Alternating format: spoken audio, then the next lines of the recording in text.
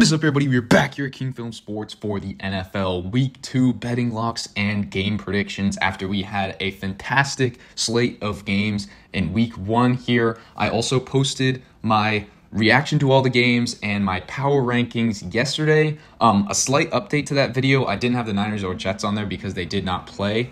And it's obvious now that the Niners, definitely a top two team. I actually have them number one in my power ranking. Might be a little controversial right now, but we will get to both of those teams, uh, the Niners and the Jets, when we talk about their game. But let's start it out here without further ado with a great Thursday night game on Amazon Prime. We've got the Bills at the Dolphins here, rematch of that Week 18 AFC East championship game last year that the Bills won. In this one, I'm going to take the Bills to win this game. Uh, Dolphins are favored here, and a lot of people probably taking Miami. It's not a good spot here for Buffalo. Um, having to travel from Buffalo all the way to South Florida on a short week after it was a tough game against the Arizona Cardinals till the fourth quarter there. They were down 17 3 in the second quarter, battled all the way back. Did give up a full kickoff return touchdown to DeeJay Dallas and the Cardinals, but did win 34 to 28. Defense needs to work on some things. Josh Allen got to clean up some mistakes, but overall, team's looking good.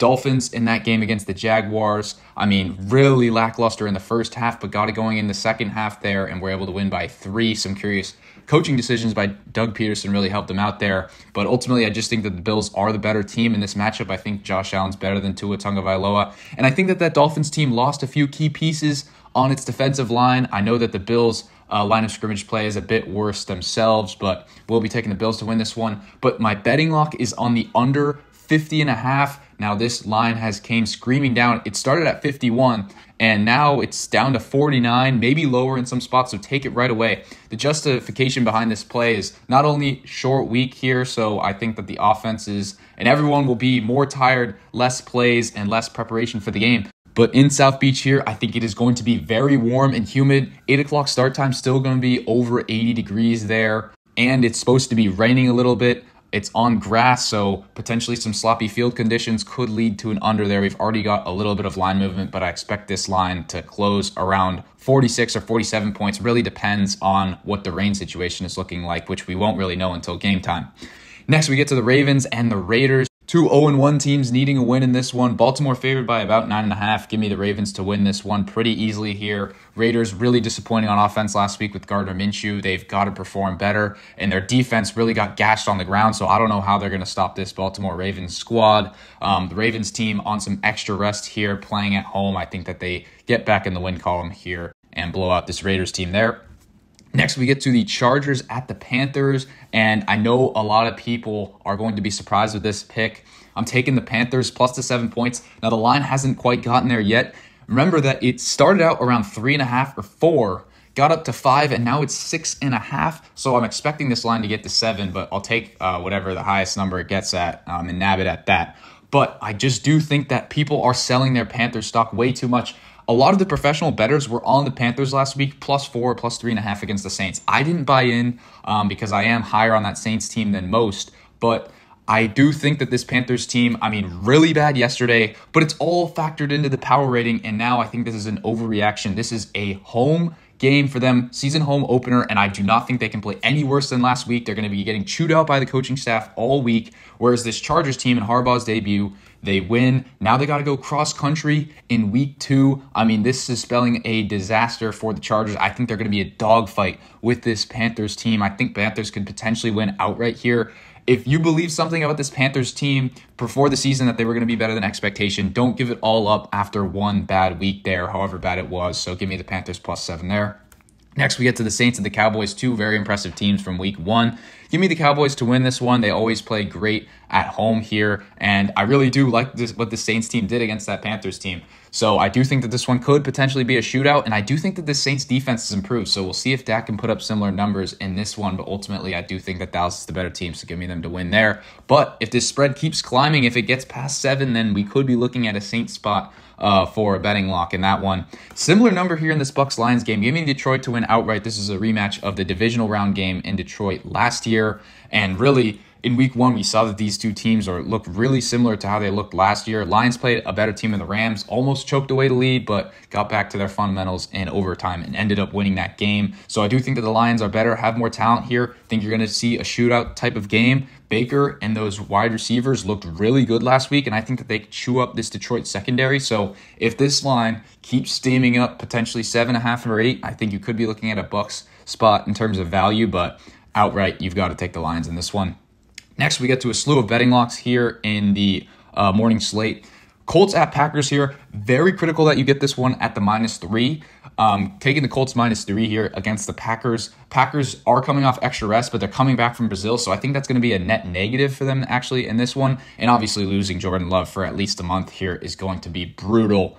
And Malik Willis just doesn't have much starting experience in the league, doesn't have much playing experience overall. Um, so I think this one is going to get ugly. Not that I think that this Colts defense is good, which is why I think you need the minus three. And Richardson, although he's going against this Packers defense, which is very bad, I think that he could make some big mistakes here. So you're going to want all the wiggle room that you could get. I think if this line steams up to four or four and a half, it might be worth a playback on the Packers, but definitely don't take the Colts uh, further than minus three in this one. But I do think that they're the better team. I do think that Willis will struggle in this one for the Packers, although they'll probably just try to pound the rock against this Colts defense, which may work in that one at home, but still Colts are the better team there. So give me the minus three.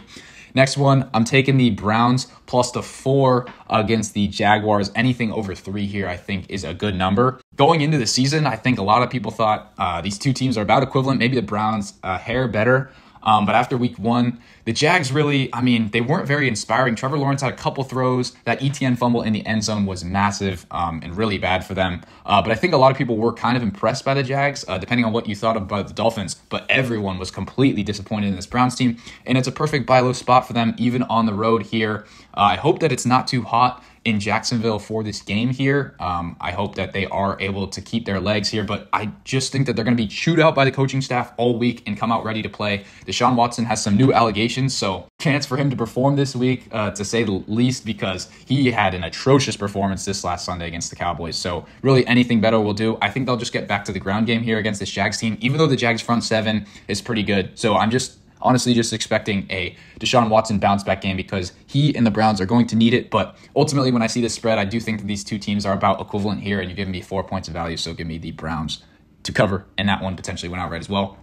Next game, we got the Niners at the Vikings.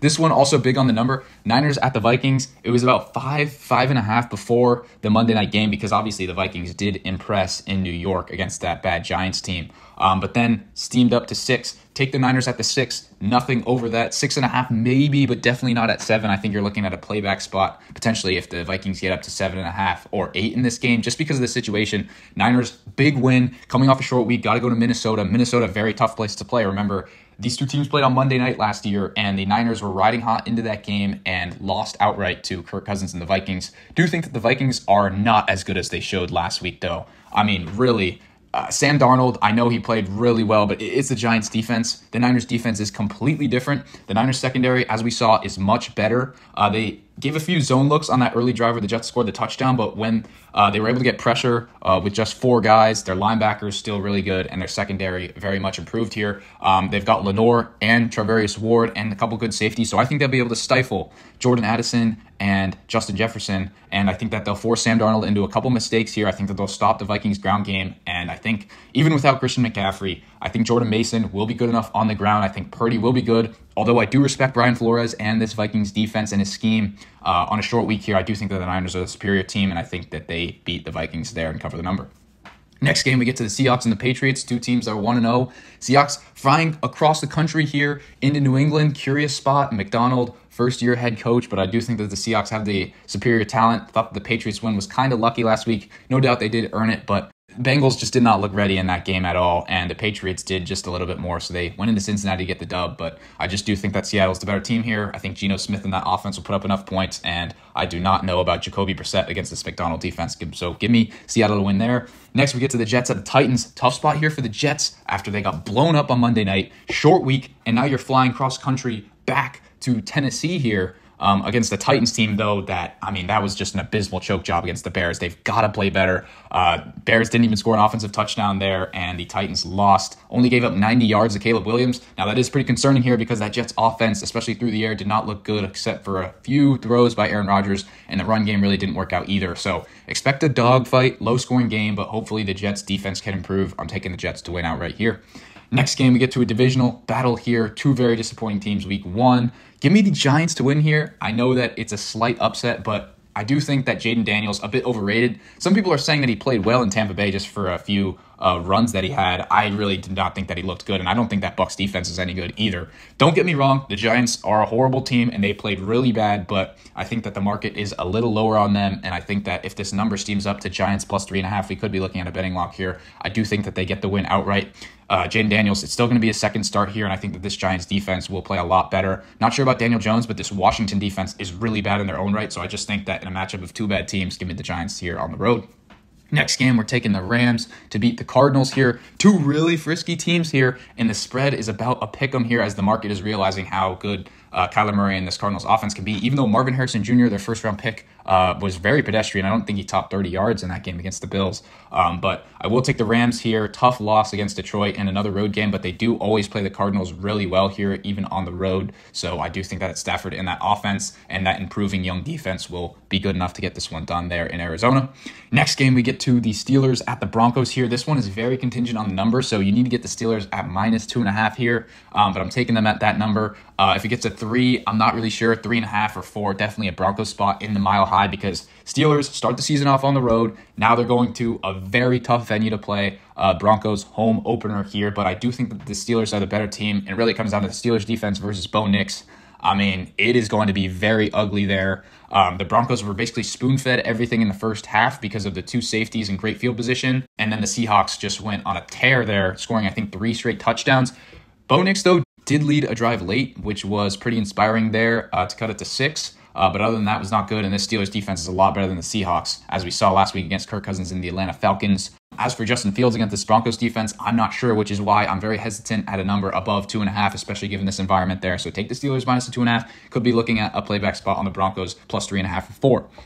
Next game, we get to the Bengals at the Chiefs here. This line widely available. Take the Bengals plus the six points here against the Chiefs. This is the bounce back uh, of the century here. The Chiefs look really good, and yes, they are on extra rest, but the Bengals going to be chewed out by everyone. They always come out of the gate slow. Sometimes that does persist into week two here, which is a little scary. Will they figure everything out? I'm not sure, but I just know that this line is inflated here. Chiefs as they are respected as one of the best teams in the NFL. But the Bengals, everyone's selling their stock here. I think this is the perfect time to buy in on this team. They were dealing with a lot of drama over the offseason with Tee Higgins and Ja'Marr Chase. I think that they'll get that offense dialed, and I think that the defense, especially against the run game, will play a lot better here. Inspired performance against the Chiefs. I'm not sure if they win outright, although I think it is worth it to have a little money line ticket on the Bengals as well there, potentially see if they can get a big upset in Kansas City there. Hey, Burrow has done it before, so you never know.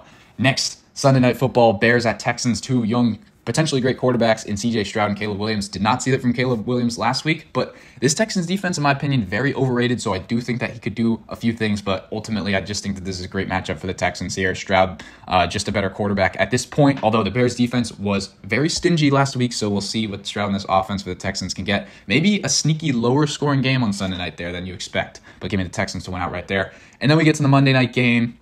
We get the Eagles coming off that Brazil trip. Uh, at home here against a very bad Falcons team from what they showed against the Steelers, but still, give me the Falcons plus the seven. I'm waiting on this line. Hopefully, we can get a seven or maybe more points there uh, for this Falcons team. I know Kirk on prime time that's always a sweat here there. Um, sometimes he disappoints, but I do think that this Falcons team will play a lot better because difference between the Steelers defense and the Eagles defense is massive here. Eagles very soft on defense as we saw in Brazil last week, so I do think that Kirk Cousins will have a bounce back game. It was also his first game off the torn Achilles. Same could be said for Aaron Rodgers. Uh, don't really know um, how it's going to hold up. Just need some game reps there to get it back.